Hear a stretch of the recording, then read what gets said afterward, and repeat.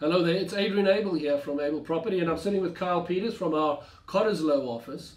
And I wanted to unpack a few questions for you, uh, Sure. Kyle. Tell me, you've been in the business a long time now. How have you seen the marketing trends change with uh, marketing property?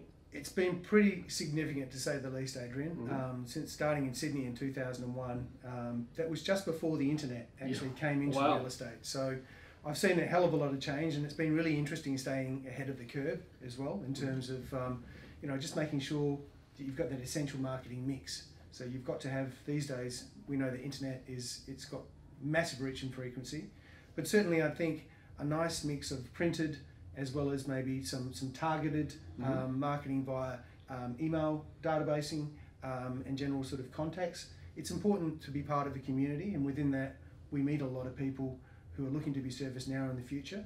So it's a real opportunity. You mentioned a word that I'm interested in there database. How, how does that really help a seller uh, if you're building a database?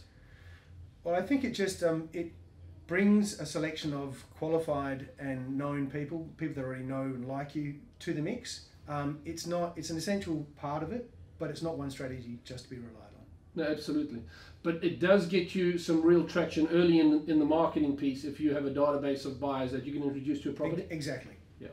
And, and you can potentially sell off the database if they don't want to uh, go hard to market. But that's a whole different conversation. We'll catch you on that in the next one. Thank you. And I know you have an, I know you have an opinion on that too. I have a very very strong positive opinion on that. Kyle Peters, Abel Property, Cottesloe. Thank you.